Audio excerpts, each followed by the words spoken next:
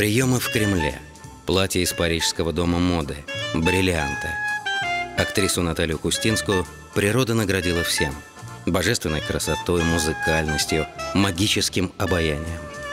За удивительное внешнее сходство с французской дивой ее прозвали «советская Бриджит Бардо», а журналисты включили ее в десятку самых красивых женщин мира –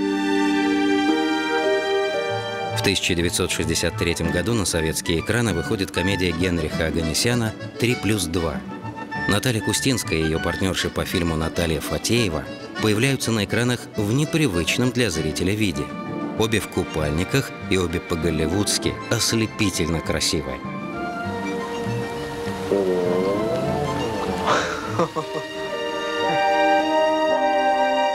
Мы звали ее Кузя. Э, это такое ласковое прозвище было в съемочной группе, э, потому что она Кузя и есть. После фильма «Три плюс два» Наталья Кустинская становится абсолютным символом женской красоты, привлекательности и сексуальности. 1973 году Кустинская играет маленькую, но яркую роль любовницы режиссера Якина в знаменитой комедии Гайдая «Иван Васильевич меняет профессию». Потрясающая новость! Якин бросил свою кикимору, ну и уговорил меня лететь с ним в Гагры. Зажигалка, она же, зажигалка вот чик, делает вот искру, да, а потом долго горит. Она не горела долго, но она была искра. Сценарий фильма не раз повторялся и в жизни Натальи Кустинской. Ни одного из четырех своих знаменитых мужей она не искала. Оказавшись рядом, лучшие мужчины страны, оставляя жен, в день знакомства предлагали ей руку и сердце. Это э, была, конечно, женщина-кошка. Э, я думаю, что э, с ней было жить нелегко, но интересно, потому что кошка, вы понимаете, это и верность, это и каприз, это и искры в глазах. Наталью Кустинскую боготворили Иннокентий Смоктуновский и Алексей Баталов. За ней ухаживал Владимир Наумов. Муслим Магомаев посвящал ей песни, а Владимир Высоцкий – стихи. Где бы актриса ни появлялась, она вызывала фурор. Это был, безусловно, предмет вожделения всех здравомыслящих мужчин. Она была такая вот наш, ну, скажем так, Бриджит Бардо. Не хуже Бриджит Бардо. Все было на месте. Глаза, ножки, талия, э, фигура. Только в 1983 году Наталье Кустинской удается, наконец, преодолеть амплуа героини-любовницы. В телесериале «Вечный зов» она играет серьезную драматическую роль. Да, ударила она умерла от сердечного приступа. А при чем тут я? При чем? Драматические события мистическим образом происходят и в жизни актрисы. Красота становится для нее и даром, и проклятием.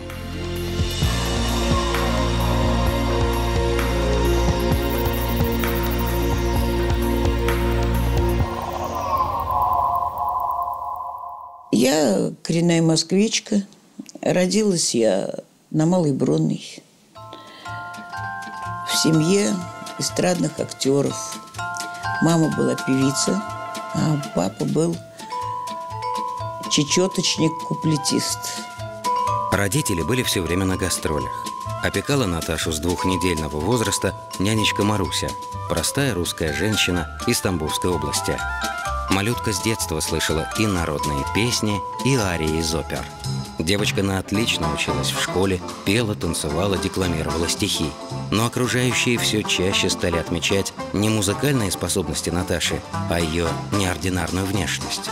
За спиной она слышала «не девочка, а ангел». Мальчики э, не давали мне прохода совершенно. Вплоть до того, что они... Э, мы жили на пятом этаже. С первого по пятый этаж они стояли толпой, тесной толпой, тесной толпой стояли э, до моей квартиры – что пройти было невозможно. Уже в доме сердились, нервничали. Ну, я ничего не могла сделать, потому что я их не приглашала. Они мне поджигали почтовый ящик.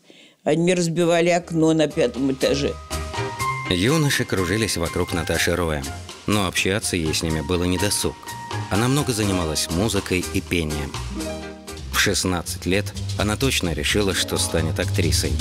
На вступительных экзаменах она читала Горького и басню «Стрекоза и муравей» в современном варианте.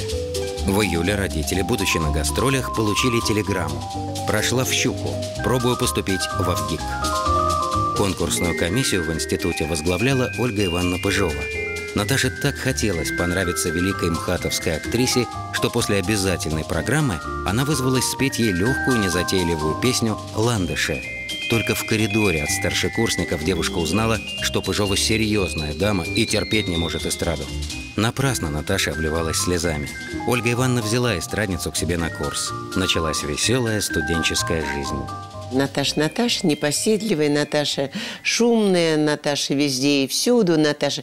У нас две Наташи, две музыкальные. Наташа Защипина и Наташа Кустинская. Обе они играли на пианино, и мы, значит, в перерывах пели, пели, пели, пели песни. Курс у нас дружный, дружный, дружный, придружный. Мы все любили друг друга, обожали. А Наташку на курсе звали Кусти. Кустя, Кустя, Кустя. Ну, Кустя, ну, такой ветреный ребенок, избалованный ребенок, вообще любимый дитё у своих родителей. Она, естественно, лучше всех была одета, всегда говорит, ой, Костя, ой, Костя. Веселую озорную девчушку в коридоре в ГИКа приметил режиссер Григорий Рошаль. Мастер искал актрису на небольшую роль в своем новом фильме «Хмурое утро», который должен был стать продолжением картины «Хождение по мукам». По замыслу режиссера первая комсомолка Маруся должна была выглядеть как Аленушка из сказки. Статная, милая, добрая. Готовясь к пробам на Мосфильме, Наташа накрасила губы и ресницы, тщательно уложила волосы. А придя в павильон, услышала от режиссера. Это что такое? Гример говорит, пойдите сюда. Елена Ивановна у нас была, я помню, гример.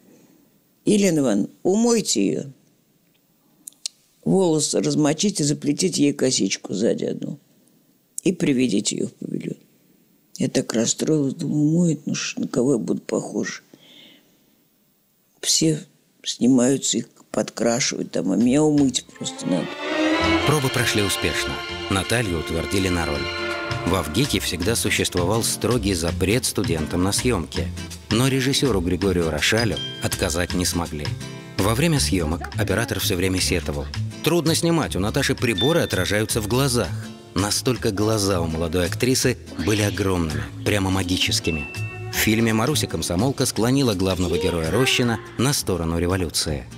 И он сознательно шагает к нам драться за наше рабочее дело. Нет, угрюмым надо быть, чтобы не верить в это. Ну, я многих убедила. Вне съемочной площадки белый офицер, которого играл Николай Гриценко, всячески опекал свою героиню. Наташа и в жизни была той же наивной, искренней девчонкой, что и в фильме. Маруся свято верила в революцию, Наташа – в потрясающую жизнь всех советских людей. Вот ее пробег по, через мост, до сих пор вот я просто вижу по кадрам. Она сказала такую чистую, светлую, озаренную мечтой о всеобщем счастье девушку. Рошаль ее правильно использовал. Она была олицетворением будущего, олицетворением революции – олицетворением мечты. Наташе на экране страшно себе не понравилось. На пробном просмотре на Мосфильме она просто разревелась. Но режиссеры были другого мнения. На студентку в ГИКа Наталью Кустинскую посыпались предложения сниматься в кино. В институт она забегала лишь на час-полтора и торопилась домой, учить роль. Все очень смеялись, потому что Наташка такая, говорит, ой, здравствуй, здравствуй, хорошо выглядишь. Слушай, как твои дела? И побежала дальше. Как дела? Да лампочки ей, какие твои дела, куда... И так с каждым. И, и все. Она этого не понимала, она думала, что она очень, очень такая внимательная. Очень внимательная, очень такая... Не слушая ответа, а, ей главное было задать вопрос. Ответа она не слушала. Вот, э, вот вся Кузя в, в этом. Она училась и снималась на Беларусь-фильме «У Корж Саблина» в картине «Первое испытание», когда в институт пришел модный тогда режиссер Юрий Чулюкин. Проводя мастер-класс, он обратился к симпатичной студентке Кустинской. «Ты артисткой хочешь стать? Не получится. Это профессия волевых, выносливых людей. У тебя просто не хватит сил. Однако после занятий он попросил у Наташи ее домашний телефон. Он на другой день звонит и говорит, слушай, сейчас я к тебе подъеду, у меня сценарий, я хочу тебе его почитать, хочу посоветоваться, понравится тебе или нет. Мы с ним сидели на Патриарших прудах, он мне читал сценарий, Одесская студия «Дубравка», потом этот фильм так и шел, на Одесской студии это его сценарий был. Мне понравился, я делал им какие-то замечания. И вдруг он мне сразу говорит, выходи за меня замуж. И я говорю, Юра, я сейчас снимаюсь, вот я снимусь, сейчас там приеду еще, когда у меня будет перерыв, тогда мы с тобой подумаем. Он говорит, нет, об этом речи быть не может. Ты выйдешь за меня замуж сейчас, завтра. Самое удивительное, что через день 18-летняя Наталья Кустинская на самом деле стала женой Юрия Чулюкина, который был старше ее на 9 лет. Это был стремительный брак, брак-экспресс. Многие посчитали этот союз расчетом молоденькой студентки. Чулюкин к тому времени снял свою знаменитую комедию «Неподдающиеся». Был полон творческих замыслов. Многие завидовали Кустинской. Жена известного режиссера засветится теперь во всех его фильмах. Задумав снимать картину «Девчата», Юрий на самом деле пообещал роль главной героини Тоськи отдать жене. Но худруки Райзман и Ром вынесли вердикт. Наташа с ее красотой совершенно не годится на роль замухрышки Тоси. Вскоре выяснилось, что съемки давно идут, и Тоську играет Надежда Румянцева. Наташа рыдала несколько дней так, будто она похоронила близкого человека. Понимаете, я не могла простить э, Юрия Чулюкину такое предательство в отношении меня. Он будил меня ночами, спрашивал, как написать, скажи мне такую-то фразу, вот как ты ее скажешь. Он проверял на мне все актерские задачи. Я ему нужна была вообще, понимаете? А так, чтобы я снимала где-то других, э, у других режиссеров, он не хотел. Он говорил, а зачем мне это надо? Ты будешь актриса номер один. Тогда ты меня бросишь. Но творческие успехи Натальи уже было не остановить. Она снялась в фильмах «Годы девичьи», «Первые испытания», «После свадьбы». По-настоящему счастливым билетом для нее стал фильм «Три плюс два». Актерам предстояло сниматься в купальниках, а Наталья была чудо как хороша.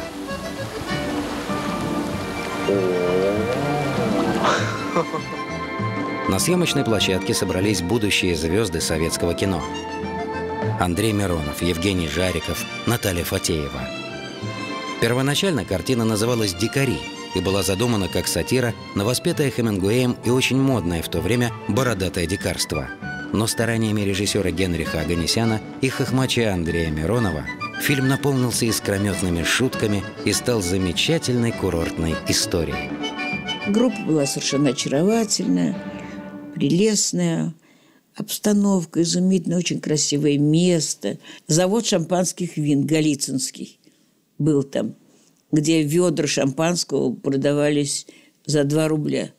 Брют, роскошное сухое шампанское, продавал, продавал за 2 рубля. Все вечером покупали себе шампанское. Даже Аганесян нам на площадке немножко позволял выпить шампанское. Ну, потому что мы уставали, мерзли очень. Мы снимали от рассвета и совсем до темноты. Глядя на резвящихся молодых людей, зрители не догадывались, что фильм снимали с конца октября по декабрь. Режиссер заставлял актеров с улыбками окунаться в холодную воду. Ай-яй-яй-яй, девушки, разве можно так далеко заплывать? А ну, хватайте за веревочки. Не делалось поблажек и для двух красавиц-героинь. Типажи курортниц, блондинки и брюнетки были по-голливудски продуманными и для советского кино необычными. На пляже две красивые женщины, потрясающие парни, потрясающие. И все они в купальниках, и все они в плавках, и как они там развлекались, и как это было замечательно. Тогда еще э, в таких костюмах как-то у нас э, не очень было принято э, появляться на экранах. Нам надо было загореть, мы же дикари, значит, загорелые. И мы ходили в шортах. А тогда в шортах было на побережье запрещено категорически. Нас милиция арестовывала. И потом нам выдавали, выдали э, справку, что мы имеем право в таком виде ходить. На площадке царила благодушная атмосфера, пока в новый свет не приехал муж Натальи Юрий Чулюкин. Посмотрев отснятый материал, он пришел в бешенство. Жена в кадре все время появлялась в купальнике. Более того, выглядела слишком эффектно. Чутье не подвело режиссера. Картина «3 плюс 2», вышедшая на экраны в 1963 году, мгновенно стала кинохитом сезона. Популярность была невероятной. Обеим Наташам, Кустинской и Фатеевой, мешками стали приходить письма с признаниями в любви. Открытки с их фото продавались в каждом киоске «Союз печати». Роман первый возник у Фатеева и у Миронова. А у нас как-то все не завязывался и не завязывался. И та просто как это, говорит, одна подруга э, уже романится вовсю, а другая как-то отстает. И это возмущало и, и Фатееву. Ну вот. И она все время Кустинскую подталкивала к, тем, к тому, чтобы у нас завязался с ней роман. Наталья будет наслаждаться обрушившейся на нее славой. Кинорежиссеры будут обрывать ее телефон, но видеть в ней будут прежде всего секс-символ эпохи пуританства. Ослепительная красота обернется для актрисы трудностями как в личном плане, так и в профессиональном. Красота – это действительно проклятие. Это то, что в тебе замечают в первую очередь. Красивой женщине очень долго нужно доказывать, что она не глупая. Если у тебя недостаточно сильный характер, я не беру как бы интеллектуальные какие-то вещи, просто недостаточно сильный характер, ты ломаешься на этом. Естественно, потому что мало того, что тебя боготворят, так тебя еще боготворя внутренне не уважают за то, что вот ты недостаточно умная. Наташу всеобщее внимание не раздражало. Она привыкла к нему с детства. С поклонниками актриса была внимательна и добра, что страшно злило мужа Юрия Чулюкина. Не желая отпускать жену в другие картины, он дал ей, наконец, роль в своем новом фильме «Королевская регата». Не командуй! Нет, буду командовать! Нет, не будешь! Нет, буду! Нет, не будешь! Или ты бросишь все это к чертовой матери, или я устрою грандиозный скандал. Учти. Попробуй. Спортивную комедию о команде Гребцов снимали весело. Это был один из первых широкоформатных фильмов.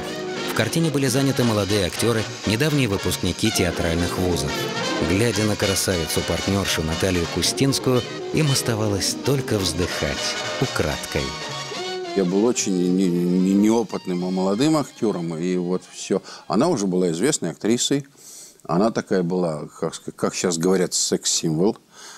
Тогда и такого термина не было, но сейчас вот, она была такая вот наш, ну, скажем так, Бриджит Бардо. Вообще Бриджит Бардо была в моде в кинематографе. Помимо того, она была женой режиссера, так что относились мы с большим пиететом. Она нам всем очень нравилась. Сколько у тебя времени? Всего два часа. На съемках случалось немало курьезов. Однажды снимали скоростной проезд. Герои мчались на мотороллере на бешеной скорости. Рядом на ЗИСе несся оператор с камерой. Наташа жутко волновалась, ведь сидеть ей приходилось чисто по-женски. Ноги были перекинуты на одну сторону, а молодой Смирницкий до этого ни разу не водил мотороллер. По сценарию скорость должна была быть запредельной. Во время съемок нас остановил гаишник. Не поняв, что происходит, он нас остановил. Мы даже не за превышение скорости, а, по-моему, мы как-то рядность нарушили. Тогда не позволялось мотороллерам ездить, там, скажем, в левом ряду. А мы выскочили вот левее. Он нас бабах и остановил, ну, и остановил практически съемку. Не нас, а съемку. Пришлось съемочной группе заново выходить на старт. Несмотря на душевную обстановку на съемках, актеры стали замечать, что между супругами Чулюкиным и Кустинской все чаще происходят ссоры. В экспедицию в Ростов Юрий уехал без Наташи, а вскоре она узнала, что у него есть другая женщина. Мне сказал гримерша еще наша – она в нашем доме жила, там на Мосфильмской. Она сказала, что Наташа, у него есть другая женщина, и он с ней живет у матери на Новопесчаной. Я оделась, поехала. Она открыла мне дверь в его халате с сигаретой. Очень хорошо, что вы пришли. Вы знаете, он меня любит, а вас он жалеет, поэтому он вот с вами не расстается. Я ему написала письмо, написала, Юра, я очень довольна, что я все увидела. Все. Через э, полтора часа он был дома. Но уже было все закончено. Понимаете, я этого не простила. После восьми лет брака супруги расстались. Наталья с головой окунулась в работу. Много гастролировала по стране и за границей. После визита в Париж модный французский журнал украсил обложку ее фотографии, сопроводив подписью «Советская Бриджит Бардо». А журналисты включили молодую актрису в десятку самых красивых женщин мира. Наталья была окружена поклонниками. Каково же было ее удивление, когда на одном из приемов она встретила мужчину, который не слышал и не знал о ней абсолютно ничего. Олег был дипломат и недавно вернулся в Советский Союз. Он был скромен, серьезен, выдержан и очень отличался от мужчин мира искусства, где вращалась Наташа. Когда увидел Наташу, узнал, кто она, что она. Ну, наверное, это была влюбленность, или, может быть, влюбился с первого взгляда. В отличие от Чулюкина, Олег никогда не позволял себе устраивать жене сцены ревности. Тем более, что вскоре выяснилось, что Наталья беременна. С появлением сына Димы обстановка в семье резко изменилась. Малыш рос беспокойно. Бессонные ночи изматывали обоих родителей. Отдушиной стало появление в доме друзей. Однажды к ним на праздник пришла в гости Наталья Фатеева с мужем, космонавтом Борисом Егоровым. Хозяйка села за рояль, исполнила элегию Рахманинова, затем этюды Шопена. Борис опешил. Это были его любимые произведения. Весь вечер гость не отходил от тезки своей жены – Праздник закончился, и опять началась кутерьма с пеленками, кашами, прогулками по расписанию. Наташа рассчитывала на поддержку мужа. Олег вдруг собрался в отпуск с своими друзьями по работе на байдарках. Я его уговаривала, умоляла не ехать. Мне трудно с ребенком. Одной, хоть у меня была мама и Марусенька – Олег все-таки уехал. Я когда его обняла, я почувствовала, что я последний раз его обнимаю. Я обняла его и заплакала. Вот почувствовала я. На горизонте Кустинской появился Борис Егоров. Космонавт, мастер спорта по альпинизму, мастер спорта по подводному плаванию. Настоящий герой своего времени. Наташа играла спектакль, Борис сидел в зале. Она уезжала на съемки и концерты, он тут же ехал за ней следом – это была любовь умопомрачения, любовь стихия. Борис ни на минуту не отпускал Наташиной руки. Она нужна была ему каждый день, каждый час. Наконец он нашел свой идеал – настоящую женщину секси, русскую Бриджит Бардо. За спиной Кустинская слышала. Отбила у подруги мужа. Но Наташа хорошо знала, что отношения у Фатеева и Егорова разладились задолго до их романа. Он мне сказал, что я все равно бы развелся, если бы не ты, потому что э, она ему не разрешала с друзьями дружить. К нему приходили друзья, она ложилась в этой комнате делать зарядку. Для меня, говорит, это уже она как женщина, она меня перестала просто интересовать совершенно. Жизнь Наташи стала похожа на мелодраму. Она разрывалась между долгом и любовью. Муж Олег, узнав об ее отношениях с Борисом, пытался покончить с собой и попал в больницу. Наташа долго его выхаживала и попросила Бориса оставить ее в покое. Но не тут-то было. Космонавт не привык отступать.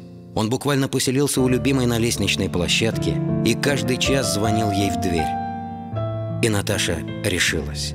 Взяв на руки девятимесячного сына, она ушла из дома. Быть мужем актрисы очень тяжело. Это такая эмоциональная нагрузка.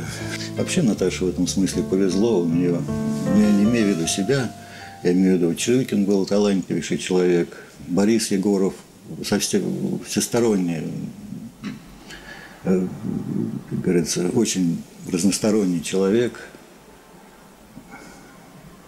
Он тоже любил Наташу. Ну, не было, наверное, ни одного мужчины, который бы в нее не влюблялся. Наташа и Борис сняли квартиру на Новиковом прибое около Москва-реки, где стоял лишь диван и стол. Не было ни плиты, ни кастрюль. Как они радовались, когда Борис получил огромную квартиру в Спиридоневском переулке, более 100 квадратных метров. Семейное гнездышко глава семьи устроил по-особому. Бассейн в гостиной, дворцовая французская золотая мебель, стилизованная под 18 век, и огромные зеркала. Это же было, ну, скажем так, квартира – это был самый а, гостеприимный дом в Москве. Всегда открыты двери, всегда э, сказать, готовы встретить э, не только хлебом и солью, но и хорошим вином, и прекрасной едой, которую она тоже умела приготовить. Это первое. И в то же время э, Борис Егоров, видимо, вот он так любил свою жену, что э, это гнездышко своими руками практически делал. Отдыхали Наташа и Борис только вместе, в Крыму, под Форосом, где размещались дачи членов ЦК КПСС. Егоров к тому времени возглавлял Институт биотехнологии, защитил докторскую диссертацию. Часто бывая в загранкомандировках, он привозил жене шубы, шикарные платья и туфли с каблуком 18 сантиметров. Ниже каблук Наташа не носила. В доме было много пластинок с новейшими записями. У них у первых в Москве появился видеомагнитофон. Коллеги втайне завидовали Кустинской. В то время быть женой космонавта, вы ну, представляете. Это вот то, что на сегодняшний день быть женой, я не знаю, там, ну, по крайней мере, какого-нибудь олигарха, наверное. Вот сравнимо с этим. Понимаете, космонавты были наперечет такие, ну, в буквальном смысле слова, национальные герои. Такие лицо нации. Много времени Егоров уделял ее сыну Диме, которого в домашнем кругу называли Митей. С трех лет Борис говорил с мальчиком по-английски. Уже в подростковом возрасте Митя блестяще знал язык и водил машину. Может, самый такой печальный для меня в совместной жизни момент – это когда ему было, Мите, лет пять, наверное. Ну, мы гуляли здесь на Патриарших прудах. Ко мне спрашивает, говорит, папа, а ты не обидишься, если мы поменяем, я поменяю фамилию на Егорова? Ну, всем детям хотелось быть космонавтами. Тогда это было в новинку. Борис э, оказался очень хорошим отцом вот, для Мити. И делал для него все, что можно. Общем, много для него сделал. И, наверное, вот Мите даже и повезло, что я бы не смог бы настолько вот уделять внимание, потому что мне приходилось в командировки ездить. Дом Натальи был открыт и для научной элиты, и для артистической. Однажды в гости пожаловал Ролан Быков. Режиссер задумал снимать фильм «Чучело» и попросил Митю привезти домой одноклассников. Посмотрев на каждого из шумной ватаги, он остановил свой выбор на Мите. У подростка было серьезное лицо и капризная губа – Борис Егоров был категорически против, чтобы Митя имел какое-то отношение к кино. Он учил с приемным сыном языки, готовил его к поступлению в МГИМО. Съемки начались, когда Егоров был в длительной командировке в Америке. И ему ничего не оставалось, как смириться с кинодебютом приемного сына. Митя великолепно сыграл главного героя Диму Сомова, на которого в жизни был совсем не похож. Это был период колоссальнейшего счастья – Говорят, две э, медведицы в одной берлоге не уживутся. Здесь было три. Медведь, медведица и медвежонок. И каждый из них со своим характером, со своим упрямством, со своей гордостью. На разногласия не оставалось времени. Наталья снималась у Гайдая в комедии «Иван Васильевич меняет профессию». Режиссер предложил актрисе сыграть пародию на роковую даму. Роль любовницы Якина была очень яркой. Гайдай кричит, целуй его, целуй его. Я говорю, Лень, ты очень ну, не хочу. Но у меня такая любовь была с Борисом в тот период, и целовать Пуговкина, понимаете. Я, ну, целуй быстро. Я быстро его схватила, поцеловала. Он говорит, а теперь сплюнь, кричит мне оттуда. Я такая, Фу. Все вот это как-то вот все экспромтом происходило. Но это интересно было очень. Алло, Анюта? Ты себе не представляешь. Я сейчас улетаю в Гагры с самим Якиным. Подбирать на Мосфильме платье для роли любовницы Якина Наталье не пришлось. Она принесла на съемки свой собственный наряд. Мини-платье, привезенное из Парижа, было отделано перьями и выглядело просто шикарно. О нарядах Натальи Кустинской ходили легенды.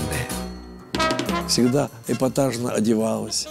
У меня всегда были наряды, которые поначалу даже удивляли своей нелепостью. Может быть, сегодня это бы казалось нормой, но тогда она всегда как-то из общего... Часто вот в этом Доме кино встречали Новый год. Когда появлялась Кустинская, все сразу смотрели, всегда всем это было, э, был удар. Рима Маркова рассказывала, что они говорят, сидели, я тебе говорю, вот Кустинская, Кустинская. Он говорит, да прекратите вы о Кустинской говорить. Из-за такой, как Кустинская, раньше войны были. Наталье часто приходилось бывать с мужем, космонавтом Борисом Егоровым, на приемах в Кремле. Ее знала вся политическая элита. Косыгин осыпал ее комплиментами. Андропов признавался, что страшно завидует ее мужу. Для Наташи это было время расцвета, роскоши и комплиментов. Но в отличие от мужчин, жены космонавтов к ней относились неоднозначно. Терешкова, кстати, ко мне очень плохо относилась. Мне подошли в Кремле, подарили огромный букет гвоздик. Огромный букет. Она была тогда еще женой. Господи, так я к нему хорошо относился. Он ко мне изумительно относился. Он умер. Николаев, да, Николаев. И так как она стояла рядом, я разделила букет пополам и протянула огромный букет. Вот такой просто. И протянул ей. Она говорит, не возьму. Он вот так как даст ей рукой. Говорит, возьми сейчас же. Но она взяла тогда. Наталью Кустинскую обожали. Ей завидовали, ее ненавидели. На экранах господствовал идеологически выдержанный социальный тип. Розовощекая доярка с тяжелой судьбой. Крепкая женщина-трактористка – Женщина-руководитель с гладкой прической и рубленной речью. Хрупкой Наташе с яркой броской красотой оставалось играть роли иностранных шпионок, женщин легкого поведения и небольшие комедийные роли. Она смотрелась и народным телом, и на фоне персонажей экранных, и на фоне своих коллег, потому что в советское время выдающиеся актрисы работали порторгами в театрах, ходили на субботники, возглавляли парвкомы. Была не страшная эпоха, а страшно циничная. Все понимали, что происходит, и все молчали. И все, что было, так сказать, а, как это по-польски, что занадто это не здраво. Не нужно, потому что это шло во вред идеологии. Она была мощная. И система звезд, которая при коммунистах существовала, она существовала, в отличие от нашего времени сегодняшнего. Потому что у нас не появилась такой системы звезд, как в Голливуде, денежной. А при коммунистах она была, но она была номенклатурная, это был натуральный обмен. Это были совершенно нормальные отношения, такие рыночные на уровне идеологии. И любой человек, который просто свободно держался, как Наташа, который говорил, что «Ну, это уродство, а это прекрасно. Он вызывал опасения, прежде всего у руководства. Советские режиссеры по-прежнему видели в Наталье Кустинской лишь яркую внешность. Актриса сыграла более чем в 40 фильмах – везде ее героини оказывались или в постели, или дефилировали в неглиже. Кино начало ее ломать. Они увидели только внешнюю оболочку. Соблазнительная красотка. И не очень, э, не, не, не очень глубокая, поверхностная, которая должна уже просто покорять мужчин своим легкомыслием, своим поведением. Она потом стала и в жизни так же себя вести. Хоть бы кто-то бы ее остановил – а подумай, задумайся над жизнью, задумайся над проблемами. Режиссеры Краснопольский и Усков решили наконец показать Наталью в другом амплуа. В 1983 году в фильме «Вечный зов» Наталья сыграла серьезную драматическую роль Полины Лохновской. Пробовались Максакова, Фатеева, Мышкова. А утвердили Наталью Кустинскую за аристократизм. С мужем Борисом Егоровым Наталья до пяти утра репетировала сцены из фильма. И роль удалась.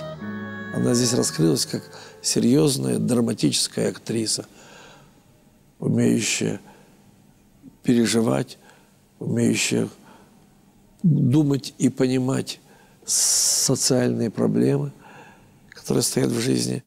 Я ненавижу вас всех. Я вынуждена прозябать вот здесь, в этой деревне, в этой дыре. А Полипов мог сделать больше. Но он трус, подонок. И все-таки он вредил вам и после. Здесь, в Шантаре. Несложную сцену в библиотеке снимали 16 часов, две смены подряд. Партнерша Наталья никак не могла правдоподобно умереть в кадре. Режиссеры, считая, что актеры должны быть сплошной комок нервов, не давали им выпить даже чашки кофе. Картина «Вечный зов» стала для Кустинской несомненной удачей. Наташа нравилась себе даже в старческом гриме, когда была вся в морщинах.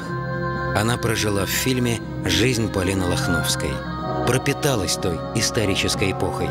И когда съемки закончились, долго не могла вписаться в современную жизнь. А после съемок нужно было ехать на гастроли по стране. Творческие встречи со зрителями были неотъемлемым атрибутом актерской жизни. Когда она выходила на сцену к зрителю, любой зритель, крестьяне это были, либо это были, э, был пролетариат, либо это были какие-то, так сказать, среды э, интеллигентские, какие в ней. Ее воспринимали одинаково, ее воспринимали как своего человека.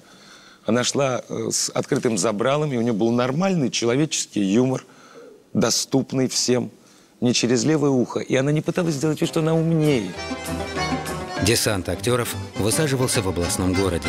Артистов распределяли по творческим бригадам и как партизан раскидывали по точкам – дальним леспромхозам и совхозам. Актеры рассказывали о съемках в популярных фильмах, байки, что случались на съемочной площадке, пародировали коллег. Конечно, не обходилось и без курьезов. Я тогда имел неосторожность сделать фарфоровые зубы. Это вообще была крайне, чрезвычайно, очень большая редкость. Вот, вообще в стране в нашей они только-только стали появляться.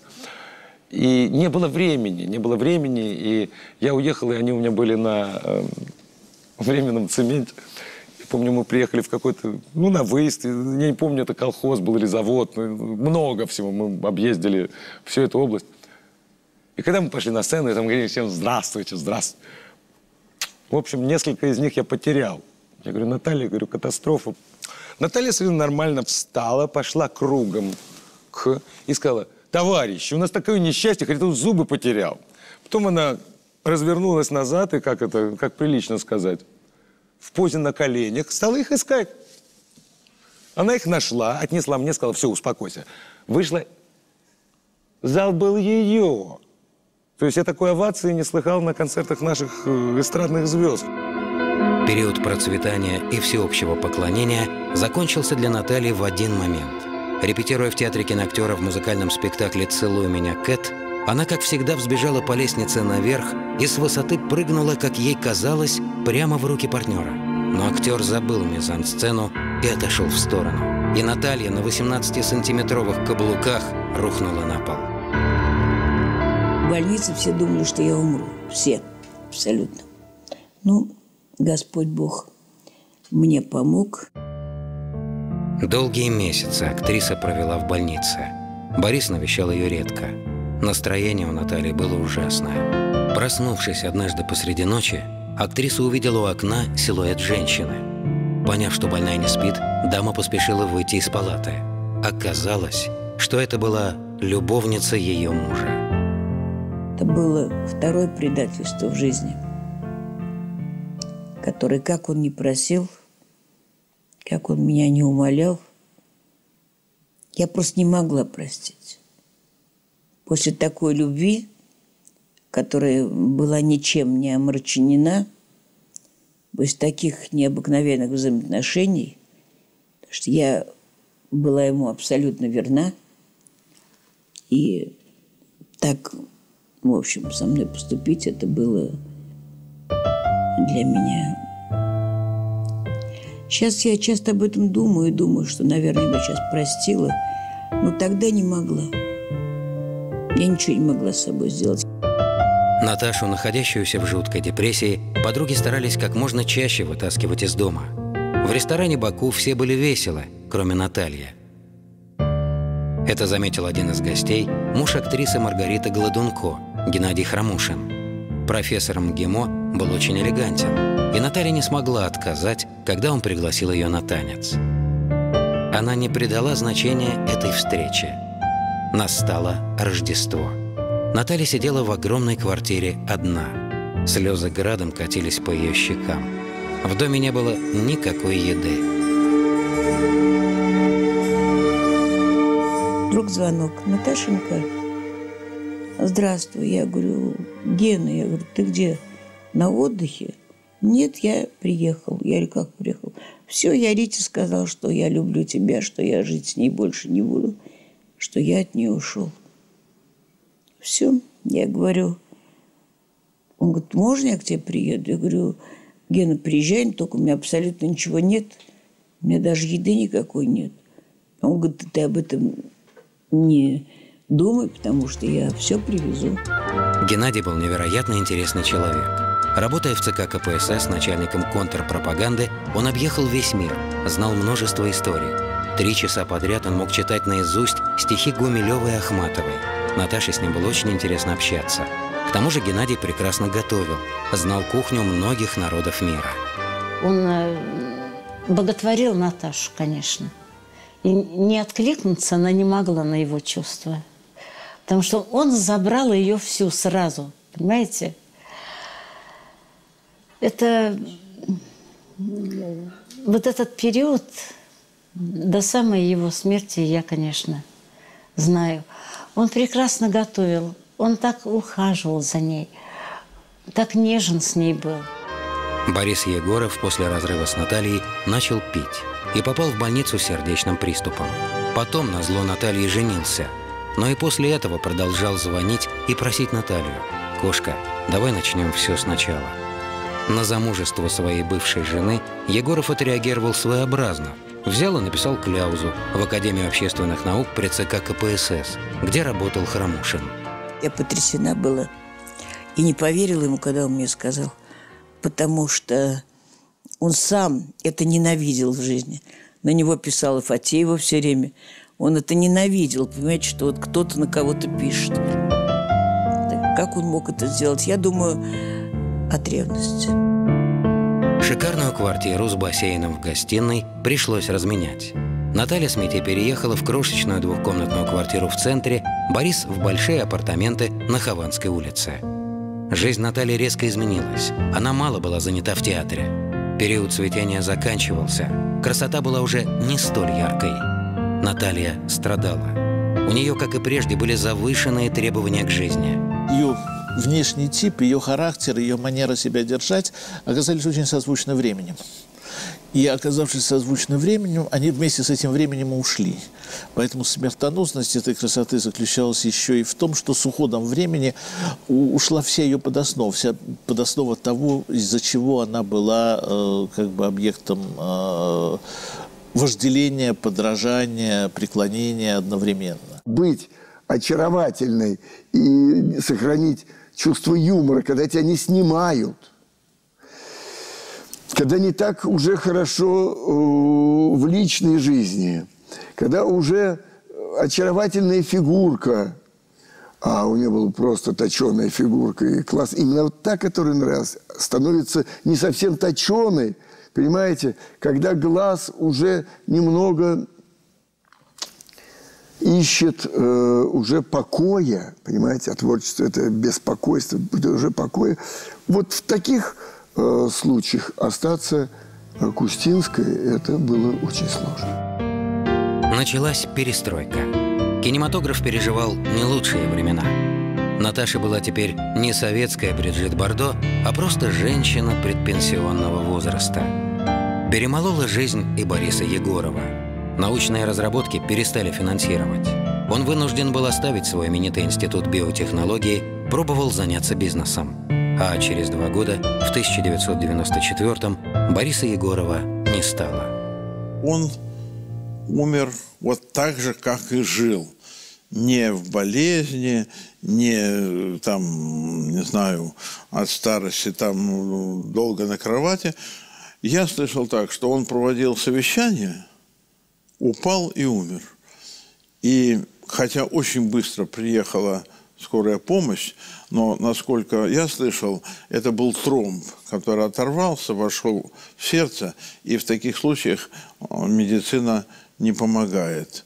То есть, как он жил ярко, вот так он и умер, как солдат, как даже, я бы сказал, как главнокомандующий, как когда-то Д'Артаньян у Дюма, так сказать, на вершине своей жизни. Смерть буквально идет по пятам Натальи. Она надолго облачается в траур. Уходит из жизни нянечка Маруся. Не успевает Наталья оправиться от горя, муж Геннадий, сломав плечо, попадает в больницу.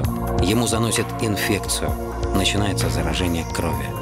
Когда показалось, что кризис миновал, она забирает мужа домой – Вдруг Митька побежал мусор выносить. И как закричит мне, мама, Гена умер. Он на лестнице сидел мертвый. Причем ключи в руке у него были. И в сумке продукты он все не рассыпал. Ничего, он, видимо, просто осел как-то. Преследовали меня смерти. Посмотрите, сколько я людей похоронил. Это же ужас вообще. Но самое страшное ждало Наталью впереди – Сын Митя, потеряв семимесячного сына, впал в депрессию, начал пить. В драке ему отбили легкое, и Наталья буквально переселилась жить в больницу. Но на этом черная полоса в жизни Мити не закончилась. В 2003-м Наталья узнала, что сын погиб при странных обстоятельствах. Митю нашли мертвым на улице. При вскрытии врачи поставили диагноз – сердечная недостаточность. Мы не думали, что она сможет пережить все это – потому что была пустота, опустошенность. Было, понимаете, даже страшно было подходить, как она пережила все это. Вот эту вот пустоту нечем было заполнить. Очень все сложно. И вы знаете, как трудно было вот приходить в этот дом, но мы приходили – потому что помощь нужна была. Мы пытались ее ну, предложить ей психолога. Она сказала, нет, я сама. Судьба подвела черту. У нее не осталось ничего. Ни мужа, ни сына, ни внука, ни работы. Наталья впала в глубокую депрессию. Не жила и не умирала. Чувствовала полную обреченность и невозможность что-либо изменить. Алкоголь стал для нее наркозом. В беспамятстве было не так больно жить. Был такой период после смерти Мити. Был такой период, но потом я просто дала себе слово, что все. Ну, потому что я понимаю, что я себя гублю. Зачем же мне это делать? Зачем? Зачем уже совсем уходить? Надо наоборот как-то выдержать это. И я знаю, что Митя меня бы поддержал и сказал бы, что мама, все правильно. Коротая за чашкой чая длинные зимние вечера, она спрашивала себя, за что судьба отняла у нее сына. Теперь актриса уверена, это расплата за успех, многочисленных поклонников, роскошную жизнь в прошлом. Красота сыграла с ней злую шутку. Публичная профессия это, – это очень тяжелая, тяжелая, тяжелая история. И поэтому, когда задают банальный вопрос – особенно нам, актерам. Вот как вам популярность? Наверное, вам хорошо с ней живет. Они себе даже не представляют малой толики того, что э, человеку публичной профессии приходится выносить. Я это говорю без всякого кокетства абсолютно, потому что чья через это горнило так или иначе прошел. И тоже у меня были проблемы и с алкоголем, и с чем только не было. Понимаете? так сказать, ну, Бог пронес там как-то, вывез меня. Понимаете? Ну, было много всего. И многих я людей терял, там, и так далее, и так далее. Так что это очень тяжелый путь. Многие его, не будем приводить примеры, их сотни, если не тысячи, которые не вынесли этого дела. Так же, как ярко жили, так как-то вот таким взрывом потом все это закончилось. Несмотря на больные ноги, каждый месяц Наталья Николаевна отправляется к Мите на Кунцевское кладбище. Каждый шаг ей дается с трудом. Ее поддерживают друзья – медсестра Нина и сосед Владимир. Сюда, на Концевский погост, актриса приходила с похоронной процессией трижды. За чугунной оградой лежат три самых близких ей человека. Любимая мать, отец и сын. На могиле Мити долгое время стоял только деревянный крест. У блиставшей некогда на всех светских приемах актрисы не было средств на памятник. Теперь на гранитном камне силуэт Мити. Деньги на постамент помогла собрать Кристина Арбакайта, которая со времен съемок в фильме «Чучело» считала Митю своим большим другом. Наталья старалась быть для Мити хорошей мамой, но уберечь от ранней смерти не смогла. Единственное, что теперь она может сделать для своего мальчика – положить цветы на его могилу и продолжать жить. Еще недавно из-за болезни она три месяца не вставала с постели. И ныне она каждое утро, поднимаясь, превозмогает боль. Но по многолетней привычке обязательно приводит себя в порядок. Причесывается, подкрашивается. Я не чувствую своего возраста. Не чувствую. Даже несмотря на все пережитое. Когда я здорова, когда я красиво оденусь, когда я накрашена, когда я в духах, я опять все та же, которой я была по нутру. Потеряв всех своих близких, Наталья Николаевна обрела новых друзей. У нее часто гостит импозантный мужчина Володя, живущий по соседству. Его судьбу тоже легкой не назовешь. Они с Натальей как два баркаса, прошедшие шторма. Пришвартовались друг к другу и потому не тонут. Недавно Володя предложил ей руку и сердце. Она обещала подумать. В жизни у Натальи Кустинской было много радости и много горя. В молодости у нее счастье было солнечное, а сейчас лунное, отраженное. Богемная жизнь осталась в прошлом. О былом триумфе напоминают лишь фотографии на стенах и журналы с русской девой на обложках. Советской Бриджит Бардо 70, а она все та же беспечная Наташка, которая все еще верит в любовь и пытается быть счастливой.